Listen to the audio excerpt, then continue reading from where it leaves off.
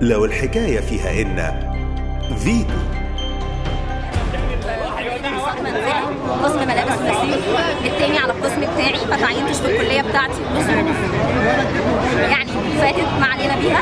جينا بعد كده نزلنا هنا خريجة دفعة 2011 خريجة دفعة 2011 آه، علشان نتعين في جهة بحثية لازم يبقى لينا نعمل عقد فيها أو تردد أو ان إحنا نبقى على مشروع مع دكتور ما كناش بنقدر نخش مركز البحوث جه بعد ما قامت ثورة 2011 جه قرار من رئاسة الوزراء إن إحنا يتم تعييننا في المراكز البحثية والجهات الإدارية في الدولة. جينا المركز عشان ندخل في الإعلانات الكادر الخاص. قال لنا لأ إحنا بنمشي بالترتيب.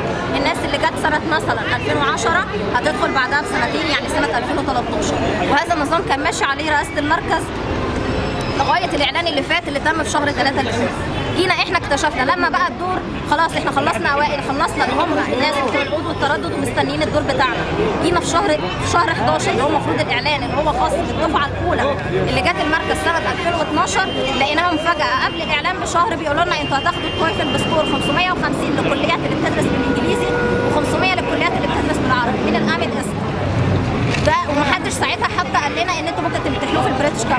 رحنا وامتحنا وطبعا إحنا كلنا تعليم حكومي.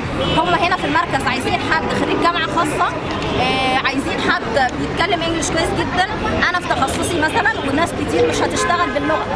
إحنا مثلا تخصص الزراعه أنا لما آجي أحل مشكلة القمح في الدولة هحلها باللغة ولا هحلها بلغة بلدي إحنا دولة عربية مصرية. بنتكلم اللغة العربية.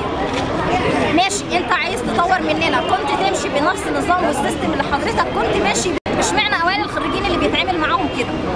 حاولنا نتكلم حاولنا نتفاهم. طب يا دكتور إحنا ولاد المركز يقول أنتم ولاد المركز بس أنتوا دم. إزاي أوائل الخريجين في الدولة يبقى دم؟